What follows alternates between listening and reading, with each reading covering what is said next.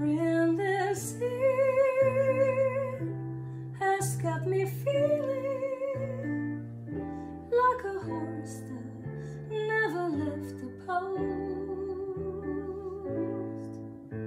I lie in my room, staring up at the ceiling. Spring can't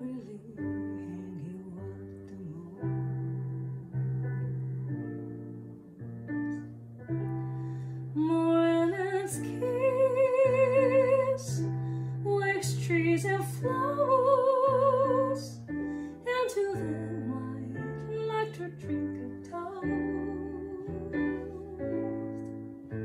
I walk in the park just to kill the lonely hours. Spring